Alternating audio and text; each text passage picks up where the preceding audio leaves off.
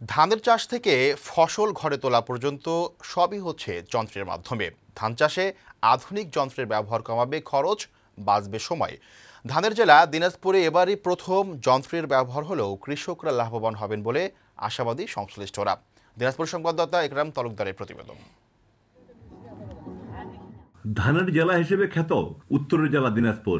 প্রতি বছরের ধান রোপণ ও কাটা মারাই মৌসুমে শ্রমিক সংকটে বিপাকে পড়তে হয় জেলার কৃষকদের। তবে সেই সংকটই দূর হতে চলেছে।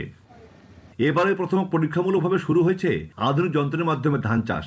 বীজ বপন থেকে শুরু করে চারা লাগানো, ধান কাটা ও মারাই, এমনকি বস্তাবন্দি পর্যন্ত সব কাজ হবে যন্ত্রের মাধ্যমে। বিরল উপজেলার চকেরহাট এলাকায় গত পনেরো ডিসেম্বর চারা তৈরির জন্য যন্ত্রের সাহায্যে বীজ বপন করা হয়। চল্লিশ দিনের মাথায় গেল আঠাশ জানুয়ারি রোপণ করা হয় চারা। এমন যন্ত্রের ব্যবহার এই অঞ্চলের প্রথম বলে জানালেন কৃষকেরা। যেভাবে ধান লাগাচ্ছে এরকম যন্ত্র আমরা আগে কখনো দেখি নাই। লোক আমরা সময় মতো পাচ্ছি না। লোক থেকে আমরা এটা একটা রেহাই পাচ্ছি। এই পদ্ধতিতে ধান রোপণেই বিঘা প্রতি সাশ্রয় হবে দুই থেকে তিন হাজার টাকা। এক বিঘা জমিতে ধান রোপণে সময় লাগে মাত্র পনেরো থেকে বিশ মিনিট। একর প্রতি দুই থেকে তিন হাজার টাকা আমাদের সাশ্রয় হবে। লেবার সংকটের সময় আমরা সঠিকভাবে ধানটা লাগাইতে পারি না। এখানে সঠিকভাবে ধানটা লাগাইতে পারব। কৃষকদের ধান চাষে সহায়তা দিচ্ছে দুটি বেসরকারি প্রতিষ্ঠান। এই পদ্ধতিতে উৎপাদন খরচ কমবে থাকবে না শ্রমিক সংকট। ধান কাটাই মারাই ঝাড়াই।